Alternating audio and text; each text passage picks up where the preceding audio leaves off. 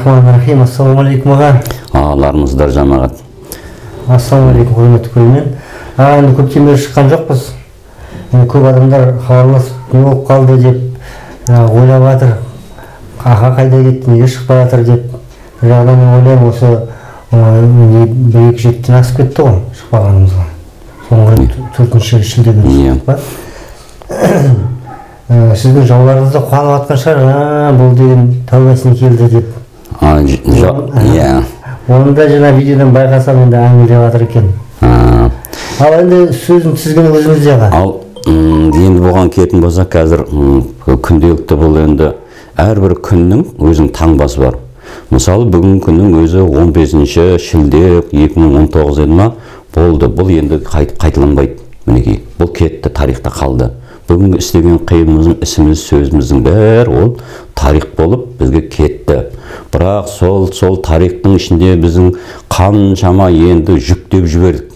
Бұл тұрған информация ақпарат қой таңба. Осы бүгінгі күнде мысалы таңбаны жүктедік. Бүгін не істедік? Осының бәрі жиналып жиналып келгенде сол ертең айналып алдымызға ол қайттан келеді. Осы қуаттар осы қайттан келеді да сендердің мына осы қылықтарыңды араларыңда жаңбырша айналдырамыз дейді. Бұндай жағдайда біз енді тек қана осы қазақтың өзінің шыққан қа- қуаты бұл шыққан тарихы өзіне ғана келмейді емес бұл айналады деген. Бүкіл әлемдік тұрғыда сондықтан біз әлеммен бір, бір тұтас жүреміз қазір әлемде қандай оқиғалар болып жатыр? Сол сонан біз ол бізде жоқ ана қытайды суалып жатыр бестен бір ана қирап жатыр. Біз өзіміз тып тыныш осындай бір өмір сүре береміз деген ол ақымақтық та. Біз әлеммен тұтаспыз өйткені адамның баласымыз. Осындай жағдайда енді қазір қазір біздегі қазақ халқында болып жатқан жағдай бұл енді тек қана қазақтың тарихында болған емес бұл әлем тарихында болған жағдай қайталанып жатыр. Қазір ел биліктің мынау пірғауындық жүйеге жалған. Кезінде пірғауында осындай түрлі апаттар болған. Мұса пайғамбарымыз қанша ескерткен ғой? Ескертсе де соны артынша ұмытып кеткен. Алла тағаланың сөзі тілдесу бізге бірінші мына жаратылыспен. Жаратылыстың құбылысы осы ал- алланың тілі бұл. Бізге қандай оқиғалар көрсетіп жатыр осылардың бәрі алланың бір тілі есептеледі. Соған байланысты алла тағала бұның енді бізді болашақпен де өмір сүргізеді. Мысалы біз қазір қаншама осы ы, жағдайда өмір сүріп бірақ болашақпен арамызда өмір сүріп жатқандар бар мінекей. Әлемде де сондай. Ол кезіндегі эйнштейн тағы қаншама ғұламалардың бәрі олар болашақпен өмір сүрген. Сол болашақпен өмір сүріп болашақтың несібесін қалдырып соныменен әлем дамыды. Енді алланың елшісі мұхаммед пайғамбарымыз сол болашақпен өмір сүрді сол діннің адамдың үлгісін қалдырды соныменен бүкіл ислам жалпы әлем сонан дамыды мінекей. Сол сияқты енді қазақ халқы біздің осы уақытқа дейін әулие әмбиелеріміздің бәрі олар болашақтың адамдары. Олар болашаққа алла тағала осылай дайындағанда болашақпен өміріп өмір сүріп олар жазып қойған. Яғни ол қуаттық тұрғыда осындай күндік мынандай ә, біз мына бір күндікте қанша қуатты меңгере алдық. Алланың берген несібесі ғой. Сол қуатты мирасы болып ә, алланың елшісі мұхаммед пайғамбар айтқан 700 жылда ә, өзінің ұрпақтарына бере алады деген. Қандай? Мұсылман өзінің ә, осы меңгерген ә, нәрсесін жеті жылда өзі беріледі. Ал енді мына әулие әмбиелер деген алланың сүйікті құлдары деген олардың белгі өздерінде осы жүйесі бар өздерінің беретін яғни қуаттары бар. Осы қуат қазір қазақ жерінде сол ашылып қазақ халқы жалпы әлемдегі көш бастау керек. Яғни біз бір жағдайдан келсеңдер бір жағдайдан келесі жағдайға өтесіңдер деп құранда ескерткен сол жағдайларға өту ол қандай болады? Сол бұрынғы біздің өткен тарихымыз сол алған жақсылықтарымызды алып жамандықтарын өшірумен айналысуымыз керек. Біз осындай жағдай келгенде біз керісінше әлемдегі барлық кәдімгі бәрі жақсы деген нәрсенің бәрін жинап алдық та оның ішінде сендердің жақсы көргендерің ішінде жамандылық тұр сендердің жек көргендерің ішінде жақсылық тұр деген мынау алланың ескертуін біз ұмытып кеттік та қазір. Біз өзіміздің құндылығымыз қазақ халқын осындай ә, болашақпен өмір сүрген әулие сол қуаттарды біз сол керісінше жек көріп мына масқап деген мінекей қазіргі бір жағынан жақсылық жасады екінші жағынан халыққа қасірет болды мінекей. Соның мінекей қазір аптап мінекей ескерттік қой. Аптап болып жатыр. Адамдар қазір күйіп жатыр сөйтіп жүріп суға жүгіріп жатыр. Бала кезімізде не істейтін? Біздің шешеміз аңдып жүретін. Міндетті түрде сағат 11-ден бастап үйге қуып тығады ке- терезенің бәрін қараңғылап жауып қойған соған төрт бестің кезінде бір ақ шығаратын тұғын да. Біз соның арасына тығылып соның өзінде суға түсіп кетеміз ғой. Бәрі ұстап алып қуып келетін. Неге мен сұрайтын да неге деп. Ыстықтық іштеріңе кіріп кетеді дейді да. Ыстық кезде суға түсуге болмайды дейді. Суменен ненің айырмашылығы. Ана жерде қызу керек екен да. Сонда сағат төрттен күн ауа бастағанда судың теңеледі сол кезде мейлі барыңдар дейді. Ал енді кешке қараңғы түскенше түсе беріңдер дейді да осындай же қазір енді жұрт сол суға түсіп жатыр осы ыстықтар бұралдың бәрі ана балдары ертең ол біреуінде бір жылда бір жылдың біреуінде де қыста ол қайтадан өнеді мінекей ыстықтың бәрі кірген екінші жағынан халықтың жүрегіне суықтық кіріп жатыр арпалыс басталды ел билік өзінше енді ел билік өзінше амал қылып жатыр өз халықты біз қалай да осы жақсартамыз деп бірақ ел билік бәрін мінекей ә, біздің назарбаевтың осы нұрсұлтанның бұл дүниесін меңгерді халықты рухани тұрғыда соны қайттан қазыққа байлап ең төменгі дәрежеге түсіргені ол дәлел енді ел билік құлайды өйткені бұлардың арасында бір бірімен келісім бірлік деген жоғалды. Қазақ халқында соны бірлік жоғалтуға қызмет жасаған біздің ақын жазушыларымыз тілшілеріміз осы мына сендер қауымдар мінекей. Сендер осыған қызмет жасадыңдар. Соның жемісін біз қазір көріп жатырмыз. Мұндай жағдайда қазір бізде көп жан жақтан хабар келіп жатыр ғой. Міне алла тағаладан хабар келіп жатыр енді ел билік қалай ауысады біз ел билікті ол бірлік туралы құдайдың ақпанымен ауыстыру керек еді да олар өз арында өзара қарам қарсылық болып белгілі бір сынақтарменен сонай өзін өзін жою керек еді да. Бір керінше біз мына оны әбіл айтты көшеге шығамыз деп біз жындарды көбейтіп қайта ұзартып жатырмыз да. Бұл уақытқа дейін біз егер де сол құдайдың ісімен көніп құдайдан сұрап біз мына өзіміз тыныштығымызды сақтап керісінше өзімізді өзіміз түзегенімізде әр отбасы өзін өзін түзеуге шыққан кезде бұл кезде ел билік ауысып болатын уақыт болып еді жоба бойынша. Ал керісінше біз создық тамыздың енді 14-13 күндей қалды 14-15 күн. Үлкен бір хикмет жағдай болады. Көктің мына халыққа жалпы әлемге білімде жоқ ғылымда жоқ құбылыстар пайда болады да. Содан халық өзі содан не болады бұл алланың бір құдіреті ғой сол.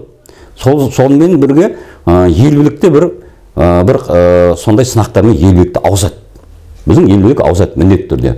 Бұған енді тоқаев енді қаншадан түзегісі келіп жатыр ғой. Бірақ ол енді қолынан келмейді. Бұның бәрін себебі біз қоғамды түземей бәрі ел билік ауысқанмен де бұл жағдайымыз енді қиындық кете береді.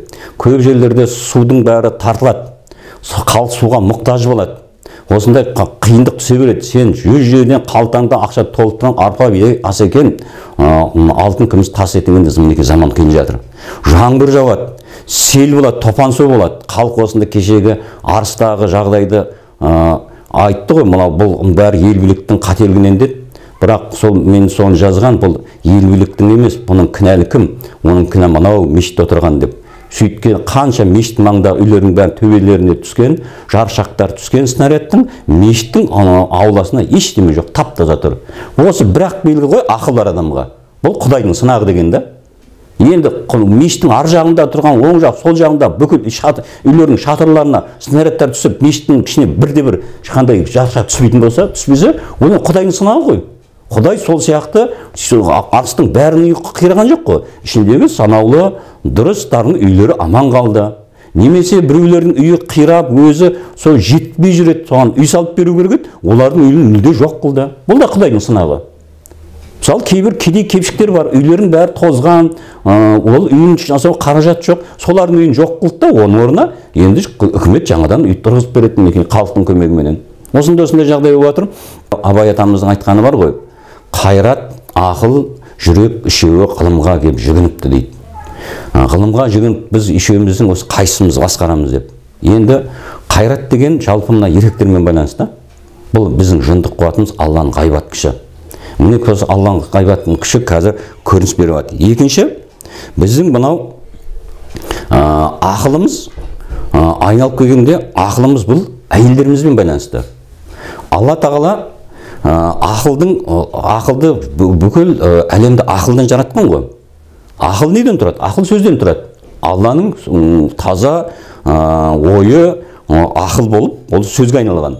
Сол сөзге сол сөзден ақыл жаратқанда ақылдан барып әлем жаратқан. Қазір бүкіл жан жағымыздан бар ақылды әлем ғой. Күн шығады күн батады қыс келеді жаз келеді бәрі бір қарап тұрсаң немен басқарылып тұр? Ақылмен басқарылып тұр ғой. Жан жарулардың өзі көктемде түлейді көк жұмыртқасын басады күзге қарай қысқа қарай қысқа дайындалады. Осылардың бәрі ақыл емес па басқа осы ақыл сол ақылдың мың түрін жаратқанда соның 999-ын табиғатқа жаратылысқа жасырған. Яғни ол ақыл қайда бар? Ақыл біздің мына өсімдікте де бар жан жануарларда да бар жәндікте де бар. Барлық жерде алланың үні тұр ақыл мінекей. Енді бір бөлігін алғанда ең бір бөлігі соңғы бір бөлігін алғанда оны мыңыншы бөлікті соны алифлям деп мың дейтін оны алтыға бөлген. Мына ақ, қазақта айтады ақыл алтыда ой жетті дейді. Соны ақыл алтыға бөлгенде сол ақылдың төртеуін бұны деген мына ғылым табуға берген адамдарға. Яғни оны мына ғылымдылар әулиелер даналар солар меңгереді деп ол төрт ақылды міне кезінде қаншама ғұламалар айтқан ақыл төрт ақылды меңгеру төртеу түгел болса төбеден келеді дейтін. Бұл негізі исламмен байланысты төртеу түгендеу. Бұл төртеу түгендеу неден басталады? Ол ә, көру есту ойлау және сөз сөйлеу қабілеті. Төртінші барлық тек сендер тектерін тануға жатқаны бұл біздің сөз сөйлеуіміз біздің тектілігіміз сөзімізбен байланысты. Қалай сөйлей алсақ қалай бейнелейтін болсақ қалай біз қатесіз сөйлесек біз текті боламыз. Егер де біз қатесіз жындылықпен сөйлейтін болсақ онда біз тексізбіз. Бір ақ нәрсемен анықтауға болады. Сол төртеуін ғылым енді соның біреуін біреуін тағы екіге бөлген. Біреуін. А, біреуін еркектерге берілген. Негізі еркектерге сол сендер мына рух түрінде нәсіп боласың деп бөлгенде енді біреуін тағы да екіге бөліп оның жартысын әйелдерге берген. Иманның жартысы әйелдерде деген осыдан шығады да. Ол мына ұятпен байланысты. Әйелдеріміздің ұяттылығы ұждандылығы осылардың бәрі ол ақылмен байланысты. Жартысы мінекей ұятпенен әйелдерге берілген. Яғни әйелдеріміз ұялмайтын болса онда біз ақыл жоқ. Сөйткенде енді оның жартысын тағы еркектерге берген.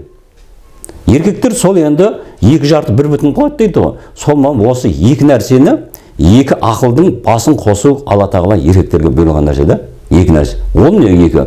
Осы екі нәрсе әлемде жоқ ол тек қана қазақ халқында бар. Оны не дейді оны жете дейді сана дейді мінекей. Жете сана арқылы біз сонда қалған бүкіл мынау тоғыз тоқсан тоғыз ақылдың мына жүйесіне үніне кілт табады екенбіз.